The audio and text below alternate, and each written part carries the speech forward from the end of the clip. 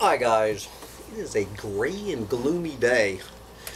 Here in the collapse of global industrial civilization on this soon to be rainy Sunday, it is my last Sunday uh, here in the this undisclosed swamp in the middle of the former Sunshine State.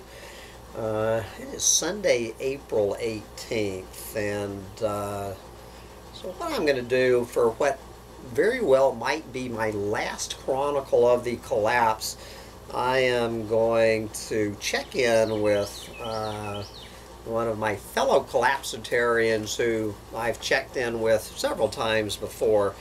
Uh, a couple of you have sent in this uh, fine essay from this fellow named Umair Haque.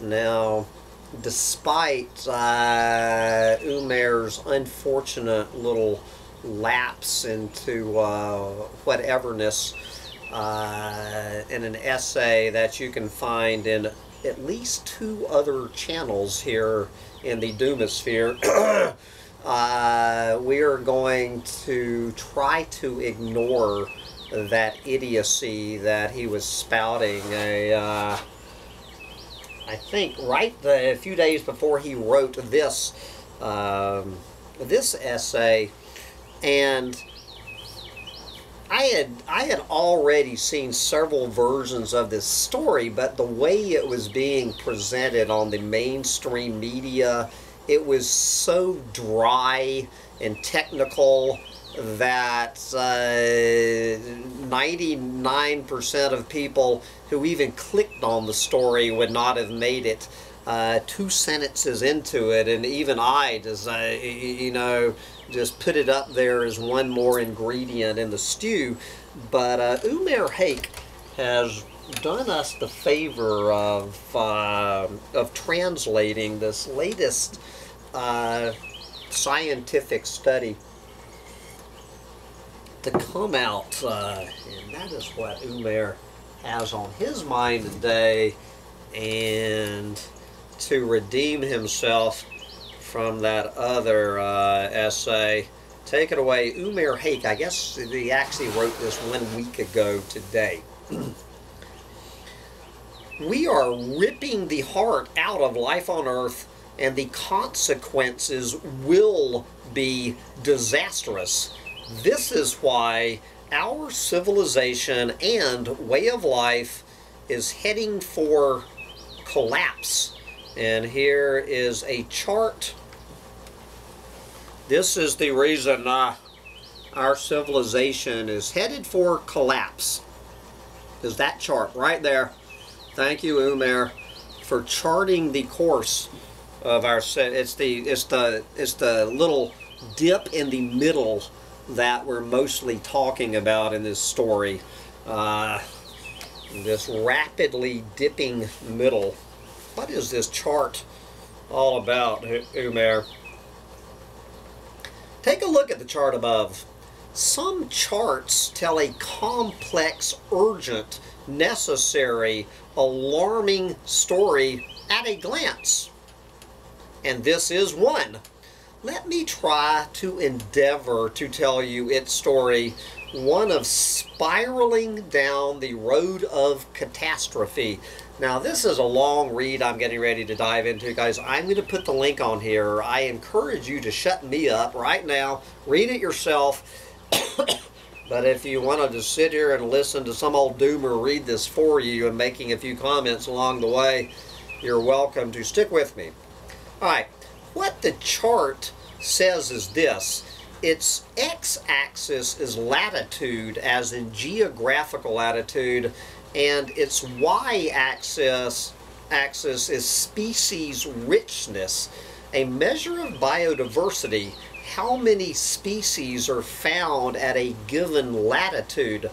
The idea is to gain a picture of how life is distributed on planet Earth which, by the way, in these dark ages of billionaires hoping to flee to Mars, is still the only life we know of anywhere in the universe. so, how is life distributed on planet Earth and how is that distribution changing and how fast? The authors of this new study behind the chart tried to answer just that question and their results are as stunning as they are terrifying. They discovered the following and then uh, you know, there's links to all to the study and whatnot if you want to read it yourself. Life on Earth used to be distributed just the way you might expect on a healthy planet. There was a lot less of it at the poles, where the number of species tapered, and there was more of it as you approached the equator, where the richest regions of life were found rainforests and jungles and prairies. it, meaning the chart, looked like a bell curve, a smooth and gentle shape. That was the complex and beautiful dance of life on planet Earth in motion. But that is what it used to be. What is it now? The distribution the bell curve has collapsed. The middle of the bell curve has imploded. Now there are two new peaks emerging as the distribution becomes bimodal. So we have kind of like a double bell forming on the planet, which is a fancy way of saying something more like a U-shaped in the middle instead of the you know top is now the bottom. Uh, we li we are living in an upside down world. Okay, that U shape in the middle doesn't look or feel right. It looks menacing and alarming because it is. What the new distribution of life on planet Earth tells us is this life is fleeing the equatorial regions and migrating north and south. That is because equatorial regions are simply becoming too hot to live in, not just for a few species, but on such a massive level that the distribution of life on planet Earth has been altered we are ripping the heart out of life on planet Earth. Who made the planet into an oven? We did, meaning humans. If you're assuming you're a human reading this, we humans made the planet into an oven. We humans have radically altered the shape of life on planet Earth. Literally altered the shape of life on planet Earth. Have you heard the story of Icarus, perhaps? Has there been a greater act of hubris than this? And the consequences, as I'm going to explain, are going to be catastrophic. This is one of the greatest transformations in history, not our history, but history, period, deep history. When was the last time such a thing happened? Life has always ebbed and flowed in distribution, but the authors of the study point to the end of the Permian period when temperatures shot up by several degrees due to greenhouse gases coming from massive volcanoes. That was 252 million years ago, and it and it took more than 30,000 years for that warming to happen. we are toying with the planet on a scale we don't understand at all. we, humans, are altering patterns and shapes of life that predate us not by a few thousand years, which is when we emerged as walking apes, but by millions of years. Turning back the clock to the biggest mass extinction in the history of the planet getting ready to repeat itself. but that is hardly the worst of it. How long has it taken us humans to rip the heart out of life on planet Earth? The collapse the, these authors have found in marine life dates back just a handful of decades. In the 1950s, life had the gentle bell curve shape of a normalish distribution you might expect. By the 1970s, you know, 20 years later, the middle of the curve had begun to collapse as species fled equatorial regions in vast numbers, and by the 90s, the curve had imploded. By the way, the authors specifically studied marine life, but many other species are migrating away from the equator too, and he puts links to that. So this study was mostly looking at marine life.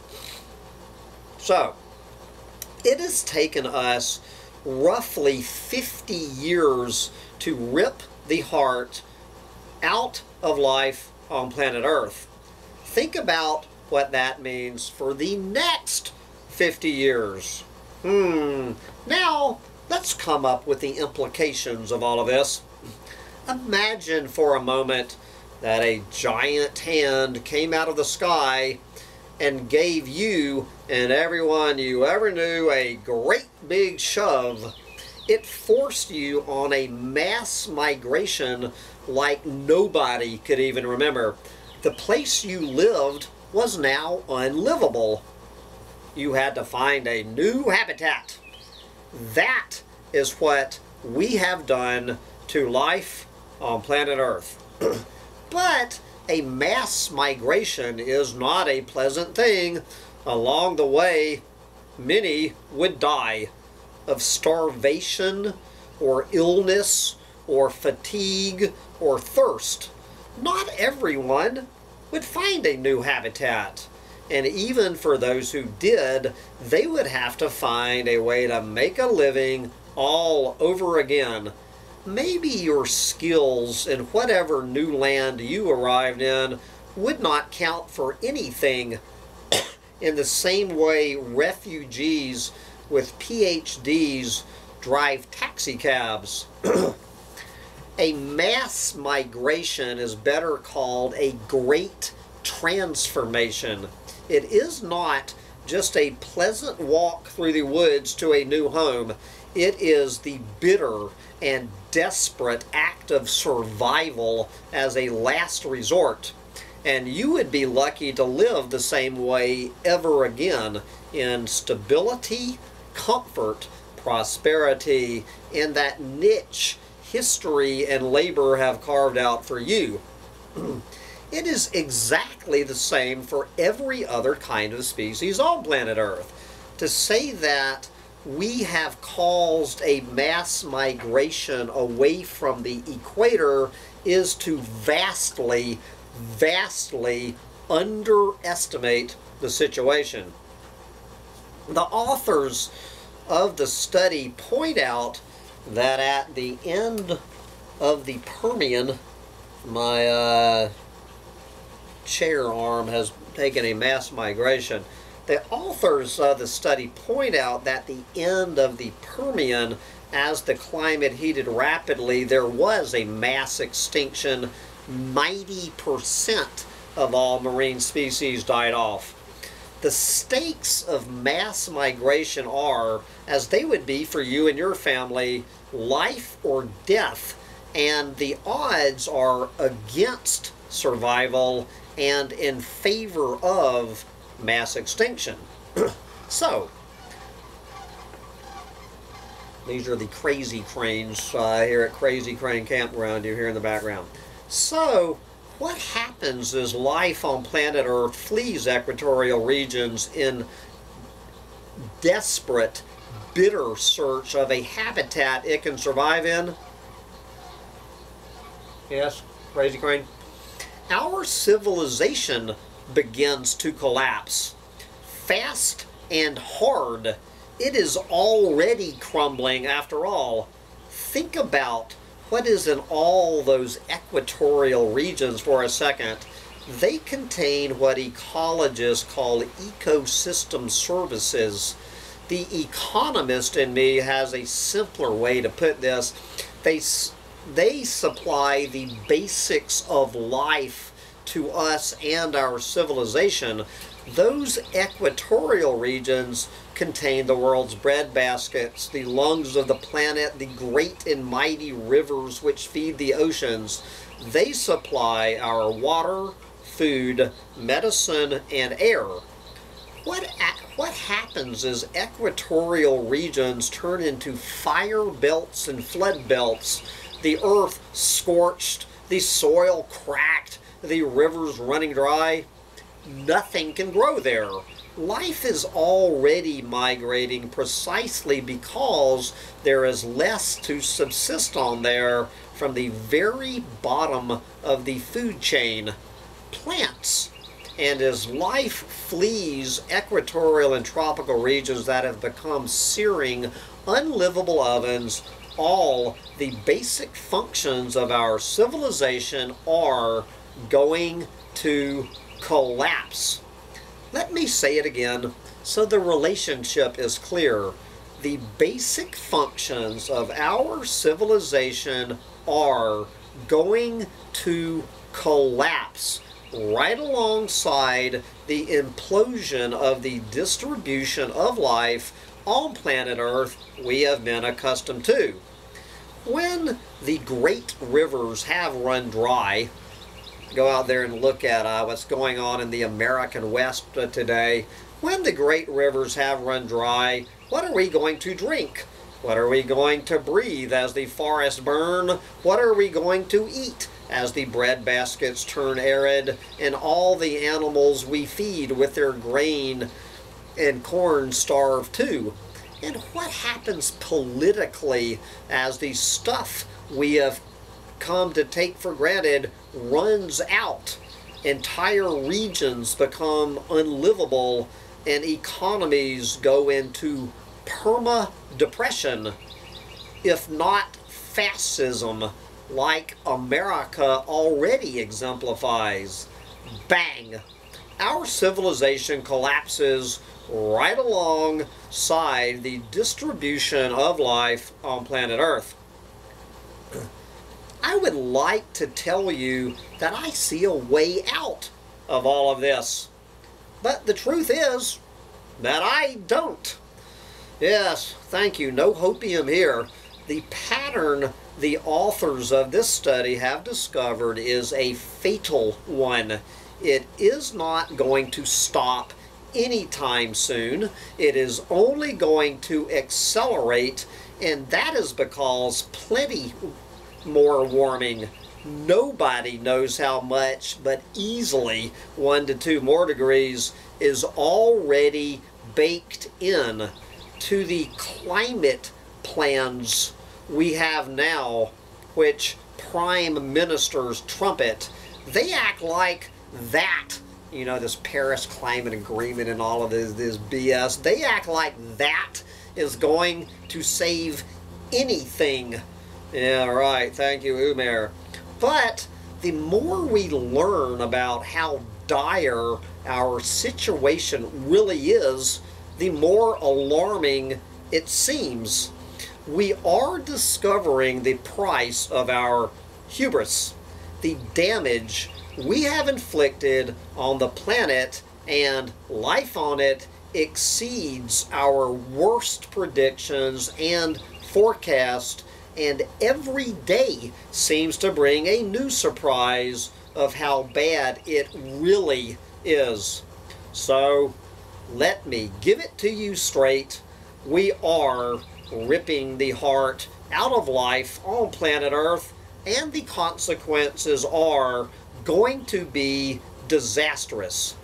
Our civilization is probably not going to survive it. This is as close as Umair gets to hopium in this article, probably. Our civilization is probably not going to survive it. Remember the mass migration I asked you to picture? It's not just the animals who are going to be affected terribly, desperately hunting for ways to survive. We, humans, will be too. Call that karma if you like. Call it stupidity. Call it greed, violence, ignorance, or call it the plight of the walking apes. The ones who, in their terrible, fatal hubris, thought they and their gods ruled the planet life called home for a scant few thousand years, destroying and maiming and killing everything in their way until nature took back what was hers in fury and vengeance. Amen, Brother Umair Haque. Uh, you have fully redeemed yourself as a collapsitarian and a doomer after that last uh, that last embarrassing uh, essay, which we don't need to talk about on this channel because we like to keep uh, the collective intelligence of this channel a little bit higher than some other places in the Doomosphere. and uh, with that, I am going to wrap up today's sermon uh, of the apocalypse. Amen to Brother Umair Haque. And uh, all right. It is my last day here uh, at Crazy Crane Campground, and uh, I need to pack up this kitchen into my gas sucking truck, and I will head off to New York tomorrow, baby. Come see me at Bugs in a Jar Farm in New York while you still can. Bye, guys.